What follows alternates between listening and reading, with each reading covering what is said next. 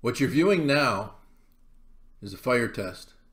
What we have here is we've got MAPP gas that we're using. Burns about 4,000 degrees. Forest fires 1,200 to 1,400. As you can see, our product does not burn, does not melt. His hand is underneath an inch and three quarters of our product and nothing happens.